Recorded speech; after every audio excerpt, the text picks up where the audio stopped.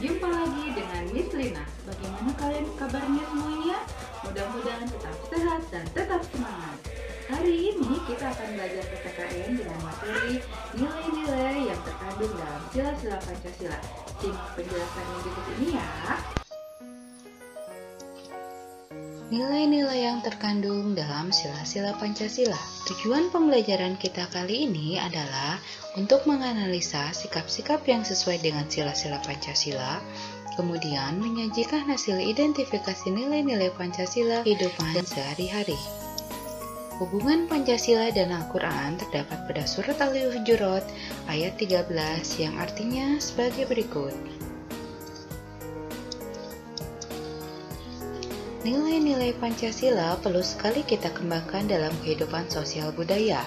Hal ini dimaksudkan agar tercipta suasana yang tenang, sejahtera, damai, dan aman. Dari zaman dahulu, nilai-nilai Pancasila memang sudah terkandung dalam kehidupan sosial budaya masyarakat kita. Nilai-nilai tersebut telah meliputi berbagai aspek kehidupan dan masih tetap dipelihara sampai saat ini.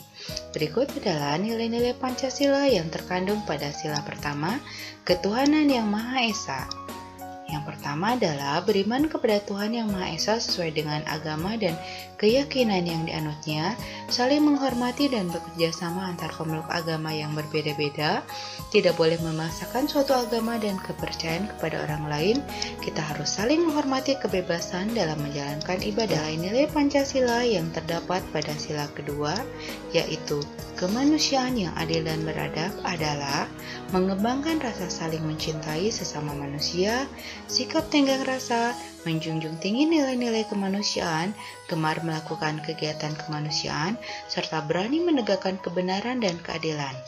Nilai Pancasila yang terkandung pada sila ketiga yang berbunyi Persatuan Indonesia ialah sikap cinta tanah air, rela berkorban demi bangsa dan negara, serta memajukan pergaulan demi persatuan dan kesatuan bangsa yang berbineka tunggal ika.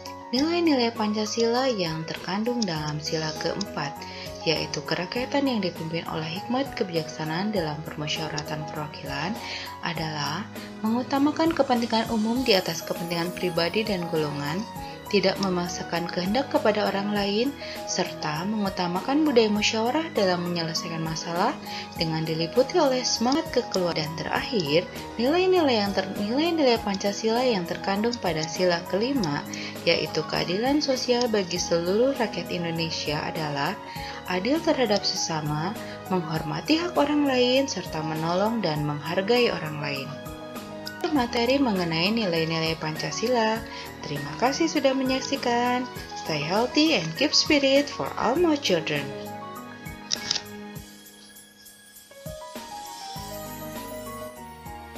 Oke, kalian telah lihat penjelasannya. Mudah-mudahan kalian paham dan mengerti semuanya.